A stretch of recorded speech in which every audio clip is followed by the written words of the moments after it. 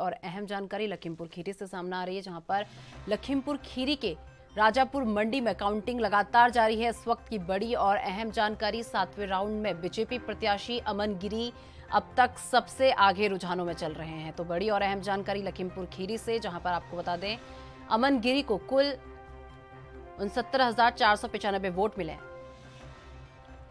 सपा प्रत्याशी विनय तिवारी को पैंतालीस से ज़्यादा वोट प्राप्त हुए हैं।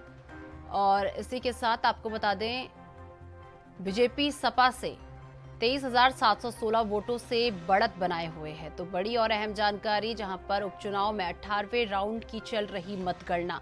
तो 18वें राउंड की मतगणना जो है चल रही है इस वक्त की बड़ी और अहम जानकारी जहाँ पर कड़ी सुरक्षा के बीच मतगणना हो रही है। तो कड़ी सुरक्षा व्यवस्थाओं के बीच मतगणना हो रही है।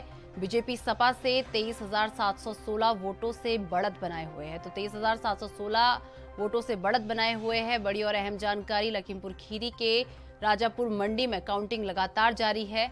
और इसी के साथ आपको बता दें कि सत्तरवें माफ़ कीजिएगा सत्रह राउंड में बीजेपी प्रत्याशी अमन गिरी सबसे आगे चल रहे हैं। सत्तरवें राउंड में बीजेपी प्रत्याशी अमन गिरी सबसे आगे चल रहे हैं। चार पचानबे वोटों से जो उन्हें अभी तक मिले हैं और सपा प्रत्याशी विनय तिवारी पैंतालीस हज़ार से अधिक वोट उन्हें प्राप्त हुए हैं।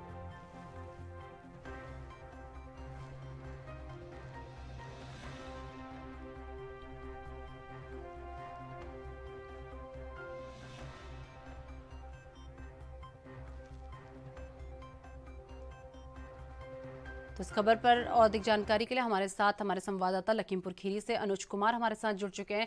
अनुज जिस तरीके से लगातार सुबह से मतगणना जारी है तो अभी तक कितना प्रतिशत मतदान हुआ है और रुझानों में सबसे आगे कौन चल रहा है? एक बार पूरी जानकारी।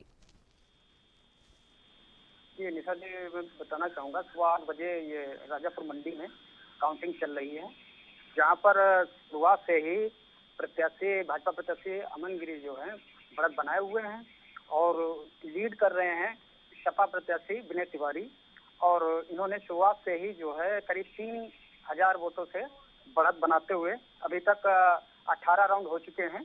उन्नीसवा राउंड चल रहा है जिसमें तेईस हज़ार सात सौ सोलह वोटों से बढ़त बनाए हुए हैं। अनुज वही बात कर ले सुरक्षा व्यवस्था की तो सुरक्षा व्यवस्था किस प्रकार की चाक चौबंद वहाँ पर की गई है? सुरक्षा व्यवस्था के विषय में ये बताना चाहूँगा कि यहाँ पे कल कल स्ट्रांग रूम की ज़िम्मेदारी अर्धसैनिक बलों के हाथों में सौंपी गई थी और ज़िले के आला अधिकारियों ने, जिम्मेदारों ने पूरे ज़िले की फोर्स बुलवा करके यहाँ पर पूरी व्यवस्था चाक चौपन की है। जगह जगह पुलिस पार्टियाँ लगाई गई हैं और जो इसका मुख्य द्वार है, द्वार पर भी वहाँ सैनिक बलों को तैनात किया गया है। चलिए अनुज बहुत बहुत धन्यवाद हमारे साथ जुड़ने के लिए और ये तमाम जानकारी हमारे साथ साझा करने के लिए।